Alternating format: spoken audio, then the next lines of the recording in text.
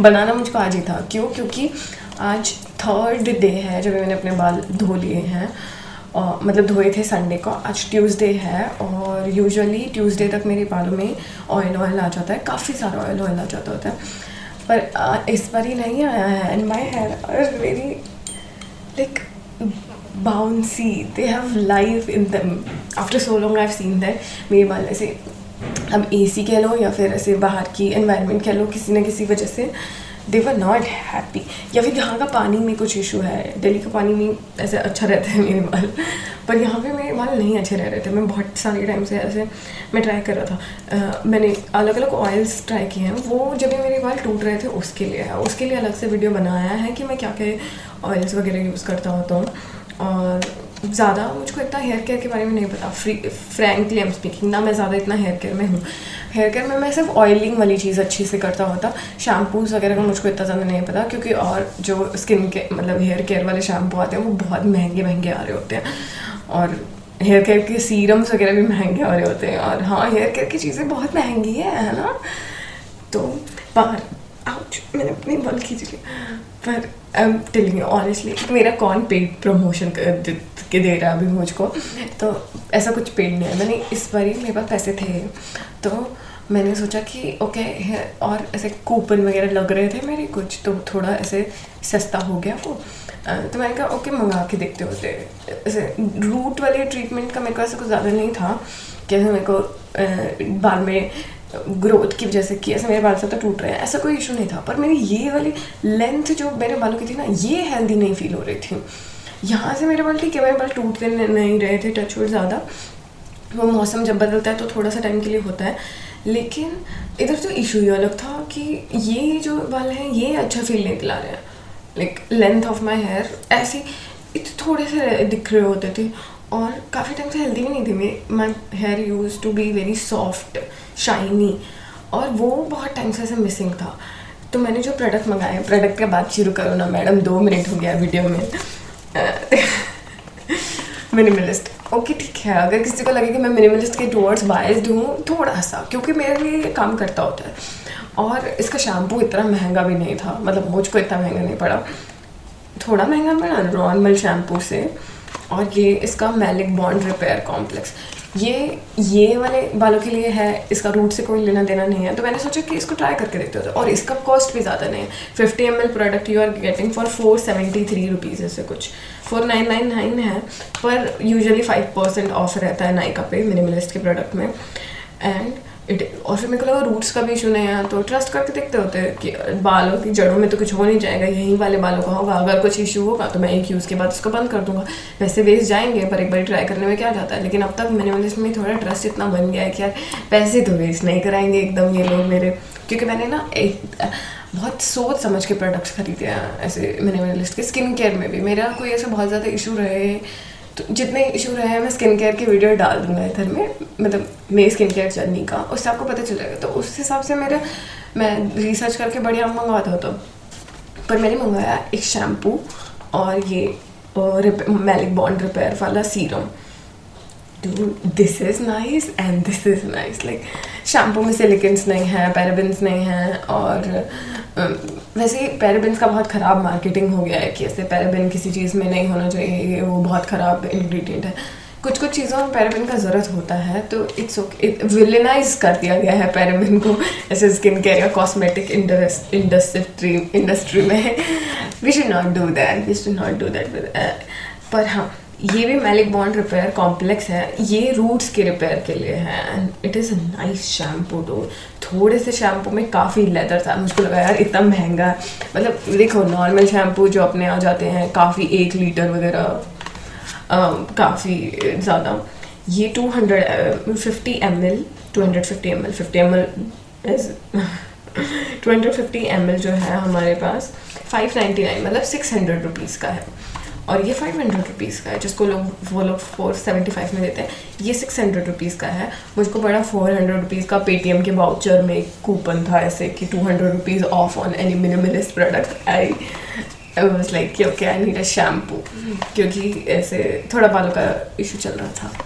तो फिर मैं शैम्पू मंगा दिए होते कंडीशनर का काम मैं जब ये मंगा लिया। अभी हम मिडिल क्लास थोड़ा सा तो वो रखते ना कि यार कंडीशनर कंडीशनर इज़ महँगा। कंडीशनर ये भी ऐसी बात नहीं महँगा ये छः सौ का है, वो सात सौ रुपये का है।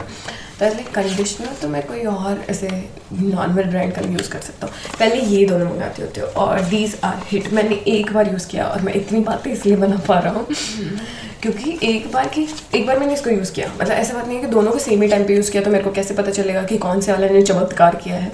तो पहले वॉश में मैंने इसको यूज़ किया था। उस टाइम में मैंने शैम्पू अलग यूज़ किया था। But my hair were soft too they were like let me show you third मैंने आओ खींच दिया अपना एक बाल। थर्ड डे है। And shine you can see sunlight में नहीं हूँ मैं कि मैं ऐसे ऐड दे सकूँ पूरी। But bounce and all is there हाँ हेयर केयर का ऐड है, मुझको ऐसे देना चाहिए था। See you can see this this is nice, this is nice, and it shows so, yeah, this works मतलब फ़र्स्ट वॉश फ़र्स्ट टाइम मैंने इसको यूज़ किया था तब तक शैम्पू नहीं आया था। इस बार ही मैंने शैम्पू को यूज़ किया है ये नहीं है ये पिछली बार यूज़ किया था।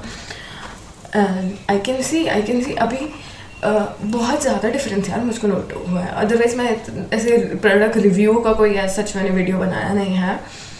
But yeah this is my first product review kind of video and and I am very impressed by these things तो that's why I was like इनका तो वीडियो मैं एक ही वॉश के बाद, ऐसे जब भी मैंने ये यूज़ किया था, मैंने कहा, इसका वीडियो बनेगा, इसका वीडियो बनने लायक है। फिर जब भी मैंने ये यूज़ किया, मैंने कहा ओके ठीक है। और मैंने ट्यूसडे को आज इसलिए किया कि मतलब ऐसे नहीं, है कि जिस दिन बाल धोया था या उससे अगले दिन ही ऐसे एकदम अच्छा आएगा, उससे एक दिन और मैं जिम जाता हूँ तो बहुत मतलब मैं जिम जाता हूँ और काफ़ी मेरे बाल ऐसे होते हैं, उनसे तो कल मैं फुल पसीने में मेरे बाल हुए थे। मैं नहीं धोता हूँ। यार, रोज रोज सर नहीं धोएँगे जिम के बाद ऐसे। अब मैं तो धोते नहीं हूँ। अभी तक तो नहीं धोने लगा अभी तक इतना वो तो नहीं बनाऊँ मैं। तो हाँ उसके बाद भी if my hair has this much amount of bounce it is nice ना? और वैसे भी बालों का ना, जिस दिन हेयर वॉश होता है, उससे ज़्यादा एक दिन बाद बाल अच्छे लगते हैं। लाइक कल मेरे बाल जो मस्त लग रहे थे, कोई भी लड़कियों को पता है कि हेयर वॉश वाले वाले दिन से, अभी तक इतनी उम्र में तो पता चल जाता है। पहले लगता था कि यार, जिस दिन बाल धोए ना, उस दिन कोई स्पेशल इवेंट होना चाहिए।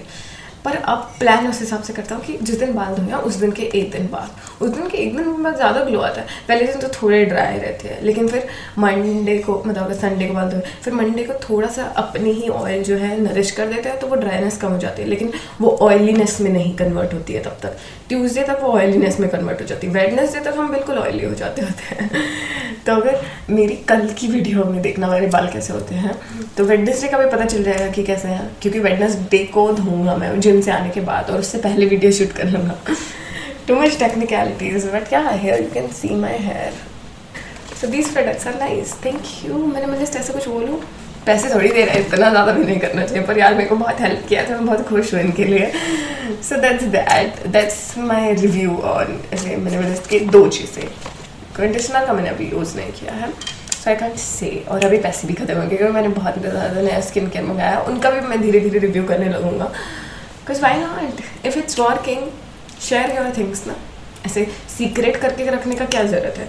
कुछ कुछ लोग बताते नहीं है कि ऐसे कोई पूछ लो ये ड्रेस कहाँ से लाए या फिर ये टॉप कहाँ से लाए ऐसे यहाँ से ले लिया था। डोंट बता दो क्या चले जाएगा तुम्हारा। क्या चले जाएगा तुम्हारा हेड और अगर किसी को और वेट करना हो तो मैं चार वीक यूज़ करने के बाद आपको एक और रिव्यू दे दूँगा। ये first week first week use के बाद था, चार वीक के बाद और मैं अच्छे से रिव्यू दे दूँगा इफ़ यू वांट दैट कि अगर ख़रीदना ही है तो you should wait and I make a review video चार वीक बाद देखते हैं। क्या पता पहली बार मैं ऐसे ही जादू जादू वाला हो गया और मैं बहुत ऐसे खुश हो गया हूँ। और फिर ये चार वीक बाद में काम ही करना मन कर दे। तो हाँ चार वीक बाद में दोबारा से के बनाऊँगा। मैं क्या कर रहा हूँ? But that would be honest ना? देट वुड बी नाइस अभी पर मेरे जिम जाने का टाइम हो रहा है, मैं जा रहा हूँ। Bye bye tata thank you so much for watching my video subscribe for more healthy beauty content और हेल्दी कॉन्टेंट इन जनरल क्योंकि यहाँ पे कोई हाई एक्सपेक्टेशंस तो बनाते नहीं, और अब मेरी मम्मी ने भी मशीन चालू कर दिया। सो बाय बाय बहुत सारा बैकग्राउंड नॉइस निकालना पड़ेगा मुझको। Thank you so much Everyone's lining up to see her. There must be something There must be something better.